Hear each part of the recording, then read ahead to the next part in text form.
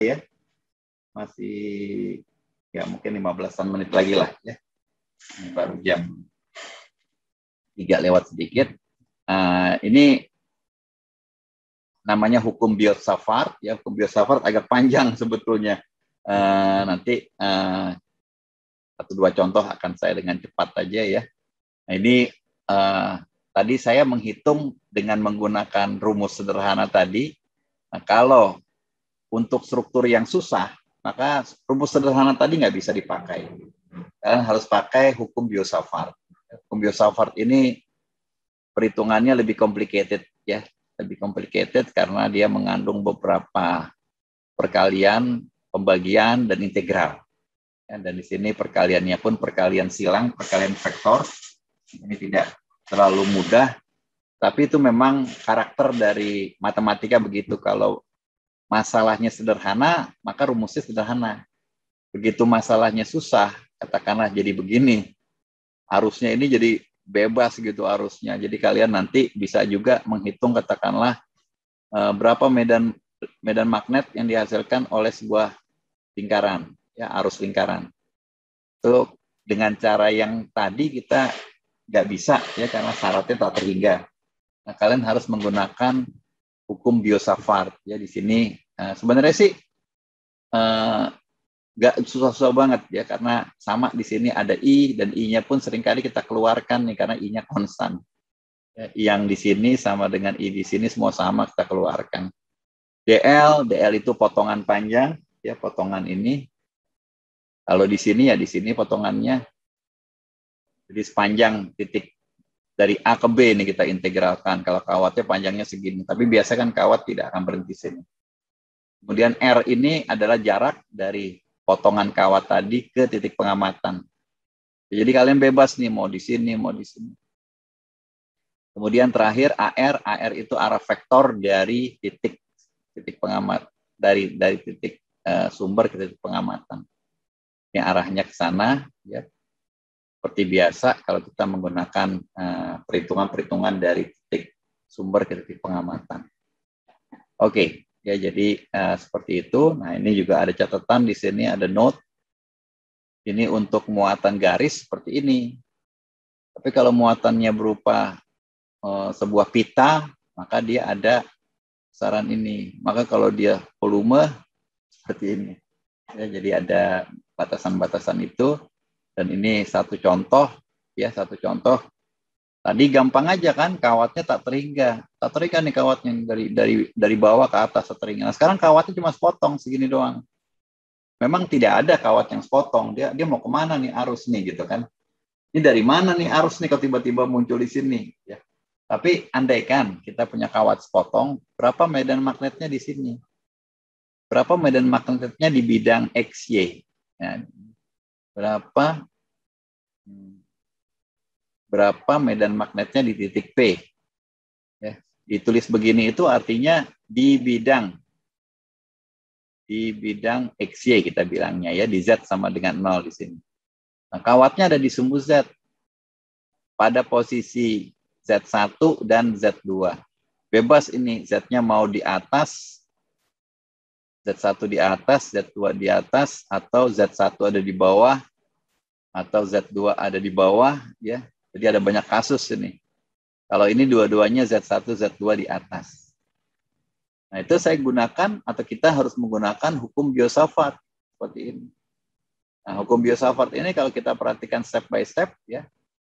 Uh, pertama DL-nya, DL-nya berapa ini ya? Ini DL nih, potongan kawat ini DL. Potongannya itu DZ ya, karena ada di sumbu Z berarti DZ. Arahnya ke mana? Arahnya orientasi arus. Arusnya ke atas, ya maka arahnya arah DL AZ. Kalau saya balik arusnya ke bawah, maka minus AZ. Ya, jadi DL semudah itu sebetulnya. Ya, nanti ada mungkin ada contoh lain kita akan lihat ya kalau kalian punya kawat kawat lingkaran begini misalnya ini sumbu X, ini sumbu Y, kawatnya melingkar muter begini. Nah, arah arusnya ke sana, I-nya maka nanti DL arahnya itu AV. Ya, AV. Atau kalau kalian punya arus misalnya seperti ini, Ini sumbu X, ini sumbu Y. Arah arusnya itu ke sana. Maka itu bisa kita bilang arus. Ya. Oke, kita lanjut. Kemudian titik pengamatan. Nah, titik pengamatan di sini ini adalah R-nya nih. Dari titik asal ke sini. Ini R kita. Dan ini mudah saja karena orientasinya titik asal. Berarti X AX ya, X AX ini yang depan. Y AY ditambah 0 AZ.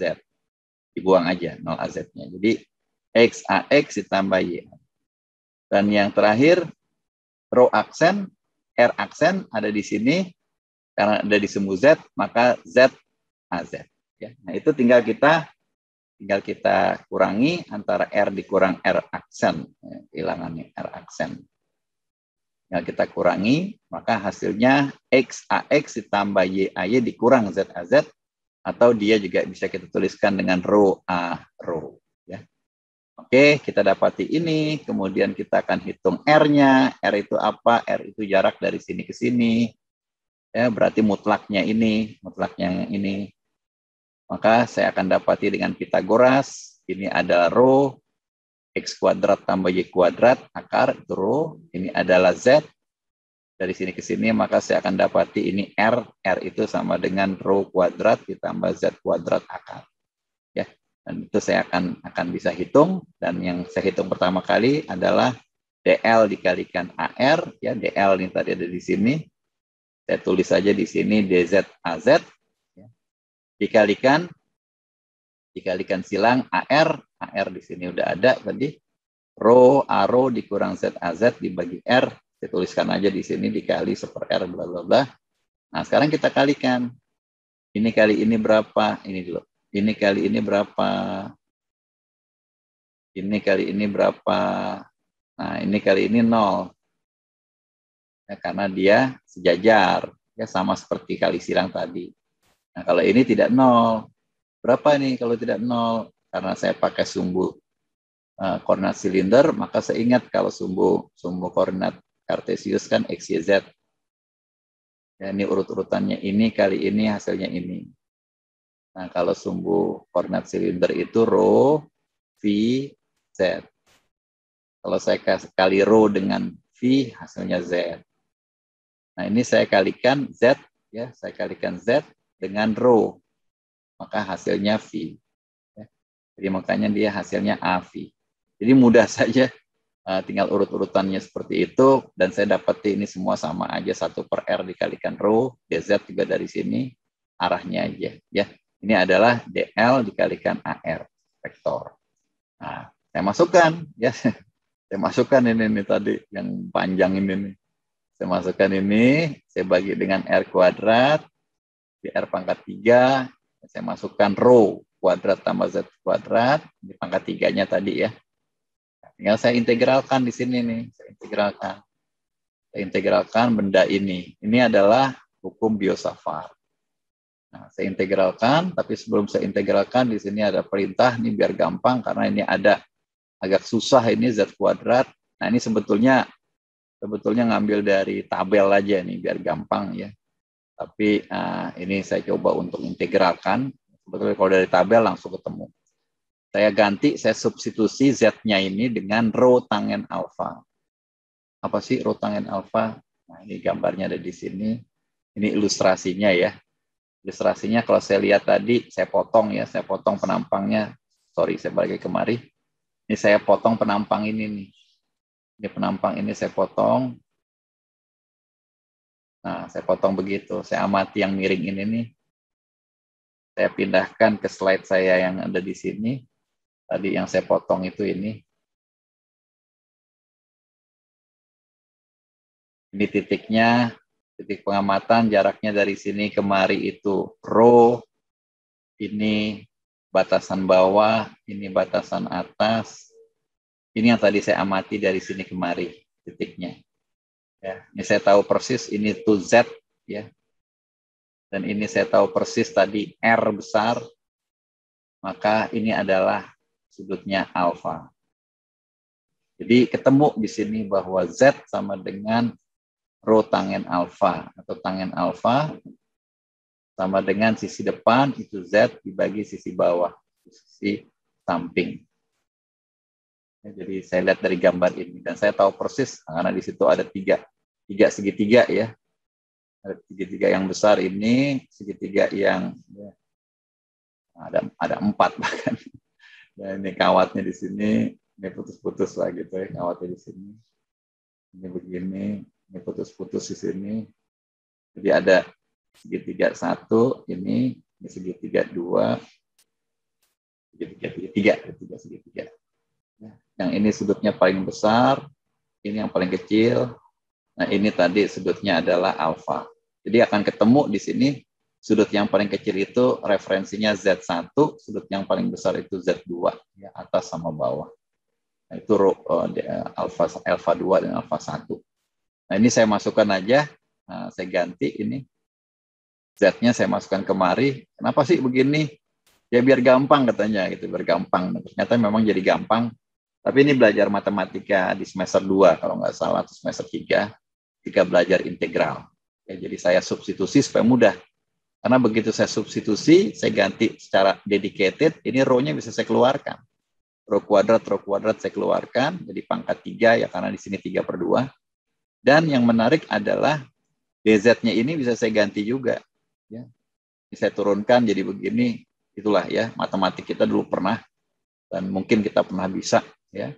Saya ganti dan jadi mudah gitu. Ini saya coret coret coret mendadak hasilnya begini gitu. Mendadak hasilnya seperti ini dan kalau saya integralkan ini mudah saja integral ini itu sin.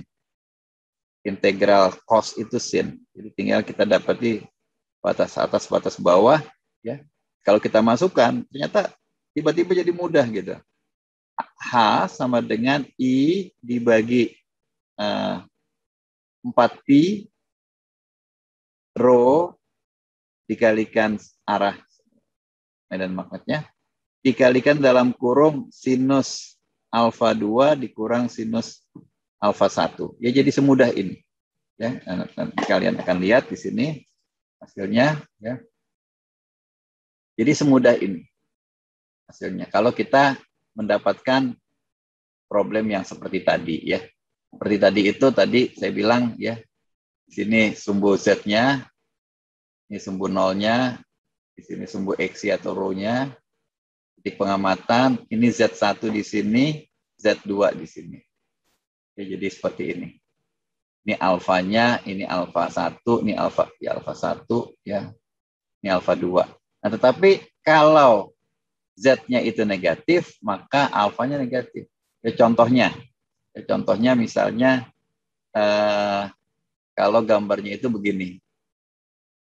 Ini kawatnya agak panjang, di sumbu Z-nya. Kita ada di sini, row-nya atau titik pengamatannya. Ini kawat ujungnya satu Z2 di sini, Z1 di sini. Di bawah, ya. Nah, maka alfanya itu jadi negatif, alfa satunya ini. Nah, jadi kalau Z-nya negatif, jika Z-nya negatif, maka alfa 1 negatif juga, atau kita dapetin di sini H sama dengan I per 4 piro sinus alfa 2 ditambah sinus alfa 1. Ya, ini alfanya di sini ya kita jadi hitung positif gitu ya. Nah, dengan kondisi uh, juga. Nah, itu bisa kita buktikan kalau panjang kawatnya tak terhingga seperti uh, yang tadi soal pertama tadi. Ya, ini Z-nya ada di atas, ini Z-nya ada di bawah. Tinggal kita masukkan aja kalau Z-nya besar sekali ini alfanya akan makin besar mendekati 90 derajat, yang bawah mendekati minus 90 derajat, maka kita akan dapati hasilnya sama seperti kawat yang tadi kita bahas di awal. Ya, ini bentuk sederhananya. Sedangkan bentuk-bentuk lain ada di contoh uh, di contoh ini ya ini juga mungkin nanti kalian bisa lihat pelan-pelan aja ya biar tahu cara kerjanya gimana. Tapi prinsipnya kita akan gunakan rumus ini. Untuk kondisi kawat yang sepotong, kawat lurus potong. Kalau kawatnya lingkaran nanti ada ada bahasan lain. Ini jika kawatnya sepotong, ya titik pengamatannya di mana nih? Titik pengamatannya kata katakanlah di tengah sini ya. Maka gimana cara ngitungnya? Ya cara ngitungnya eh, kalian bayangkan posisi kayak tadi gitu ya. Posisi kayak tadi, ini kan ada sudutnya nih, ada sudutnya nih. Ada sudutnya. Nah, segi empat siku-siku katakanlah, oh berarti sudutnya ini 45 derajat, ini 45 derajat, ya kan? Nah, kalau 45 derajat, 45 derajat dan di sini agak ke bawah, maka yang satu positif, satu negatif. Sehingga kalian akan bisa mendapati uh, mudah sekali di sini, ya mudah sekali nih untuk yang diakibatkan oleh ini. Hasilnya adalah A arahnya itu AZ ya. Karena menurut aturan tangan kanan itu dia akan ke atas AZ dikalikan 1 per 4 pi rho kuadrat. Rho-nya ini jarak dari sini ke sini ini nggak tahu berapa nih. Nah, ini A ya. Untuk kalian perlu tambahkan ini panjangnya A maka jarak dari titik pengamatan ke sana itu A per 2 jadi A per 2 dikalikan dengan sinus 45 dikurangi dikurangi sinus dalam kurung 45 ya. Nah, ini setengah akar 2, ini setengah akar 2 dijumlahkan ya. Maka hasilnya menjadi akar 2. Nah, jadi kalau kita jumlahkan ini atau kita kalikan semuanya ya, ini kalikan semuanya ini, maka H sama dengan AZ I per 4Pi A per 2 akar 2. Duanya naik ke atas. 2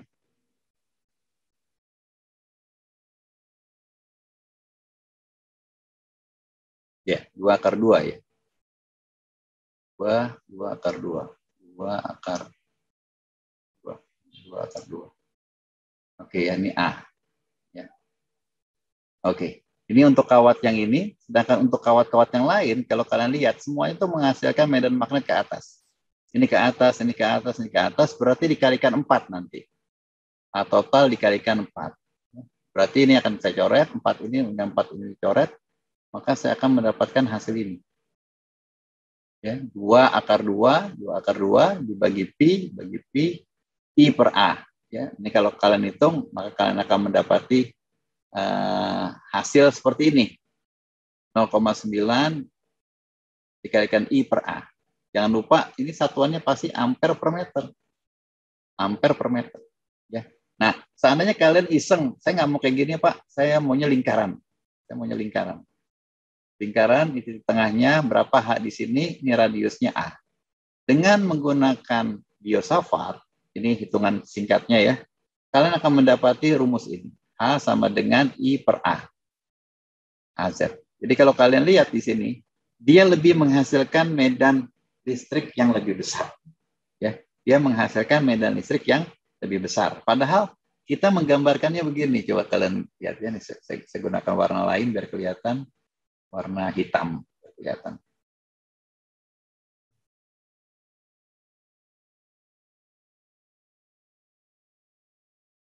Oke ya, Kenapa dia lebih besar? Karena jaraknya lebih kecil. Ya. Kalau ini lebih jauh jaraknya, dia menghasilkan lebih besar. Ya. Jadi itu yang yang, yang ingin saya tampilkan ya ini kalau tiga dimensi. Nah ini tadi flux magnetis ya saya lewatkan aja. Ini cuma pelengkap aja. Ini juga yang tadi dengan hukum teorema Stokes ya saya dapatkan di sini hasil seperti ini yang dipakai untuk persamaan Maxwell dan yang uh, terakhir ya ini uh, penggambarannya. Oke, sebelum saya tutup saya ingin tunjukkan di sini sebuah analogi aliran air. Ya, ini menarik sekali. Ini interpretasi fisika dari Courant. Courant itu uh, seperti ini. Ya, jadi kalau kalian lihat uh, ini medan magnet, medan magnet nggak kelihatan. Tolong kalian lihat arus, arus berupa gerakan air dengan kecepatan v. Ini menarik sekali. Nah, kalau kalian sedang di pinggir sungai, ya teman-teman kan senang jalan-jalan juga kan ke pinggir sungai. Nah, kalau kalian berjalan-jalan di pinggir sungai, jadi kalau kita punya sungai yang besar seperti ini, katakanlah sungainya ini uh, nggak ada batunya, nggak ada apanya, uh, sungainya ini sungai yang bagus sekali. Jadi permukaan dasarnya pun datar, maka arusnya itu lumayan lancar gitu kalau kalau kita bilang ya nggak ada batu, nggak ada apa, nggak ada gangguan sampah. Sungainya itu berjalan air di dalam sungai itu berjalan lancar. Tetapi sebetulnya arus air di dalam sungai atau di dalam pipa atau melalui sebuah channel, sebuah kanal, ya, itu arus di sini itu nol nilainya di pinggiran karena dia terhambat oleh oleh pinggiran sungai. Jadi eh, sebetulnya tuh kurang lebih ya kalau kita mau gambarkan arus sungai itu arus air di sungai itu memiliki profil kurang lebih seperti ini. Di tengah-tengah itu dia besar dan ke, ke samping ke bawah makin kecil. Ya. Nah, ini adalah sebuah kecepatan atau gerakan dari sebuah fluida atau sebuah benda uh, yang cair yang memiliki kur. Kenapa memiliki kur? Kalian coba gambarkan, uh, ilustrasikan seperti ini. Nah, kalian bisa eksperimen sendiri kalau kebetulan lagi jalan-jalan ke sebuah sungai yang uh, yang datar lah, yang bagus lah ya, biar biar gampang. Nanti kalau sungainya lebih banyak gangguannya dengan batu dengan apa lebih seru lagi sebetulnya. Tapi kita ke sini dulu. Kalian lempar ke sungai uh, sebuah potongan kertas yang kecil aja, jadi nggak nyampah. Nah nanti kertasnya itu hampir pasti dia akan berputar seperti ini. Nah, kalau di, di sisi yang atas, katakanlah di sini ada pinggir atas ya. Pinggir atas itu profilnya akan kebalikannya kecil, besar. Nanti arusnya itu akan, eh, potongan kertasnya nanti akan begini, berputar. Itu yang dimaksud dengan kur. Ya, jadi ada ada ada ada sebuah putaran yang diakibatkan eh, ada kecepatan atau dorongan atau medan magnet yang kalau kita putar, kita lakukan semacam integral lintasan, dia itu tidak terkompensasi. Ini kalau kalian putar begini nih, ke sana, kemari, ke sini, ke atas, dia tidak terkompensasi. Ya, ini akan dominan karena dia lebih besar. Dominan. Ini akan lebih besar daripada ini. Ini katakanlah tegak lurus, nol, nggak ada. Maka kalian akan mendapati putaran ke arah sini, artinya mempunyai torka ke, ke, ke dalam. Jadi dia akan berputar begitu. Nah, itu kasus pertama. Kasus kedua, kalau kalian amati katakanlah di sini tuh ada batu besar, maka akan lebih seru lagi. Bahkan di sini pun dia akan mengalami perputaran begini. Apalagi kalau kita ganggu lagi macam-macam, dia akan berputar dan itu kelihatan airnya pun berputar di situ. Bukan cuma kertas, kalau di sini kan kertas, baru kita lihat oh ada putaran. Tapi kalau ada gangguan-gangguan lain, airnya pun kita lihat berputar, membentuk sebuah kur. Itu yang ingin saya sampaikan dan terakhir di sini ada tugas-tugas yang biasa kita kumpulkan nanti kalian lihat ya ini tugasnya gampang sekali. Ya, ini kurang lebih sama seperti tadi, ya, kurang lebih uh, sama seperti contoh-contoh tadi. Nah, kalau ini uh, agak beda. Kalau ini kalian harus mengintegralkan, ya, karena ini adalah filamen. Filamen arusnya ini terdistribusi di sini dengan sebuah luasan tertentu, jadi kalian harus sedikit mengintegralkan. Ya, jadi ini tolong dilengkapi. Uh, kalau kalau kalian bisa pelan-pelan lihat contoh-contoh yang ada di internet atau di buku-buku, kalian mungkin bisa ngerjakan juga. Itu aja yang ingin saya sampaikan. Terima kasih atas perhatiannya. Silakan kalau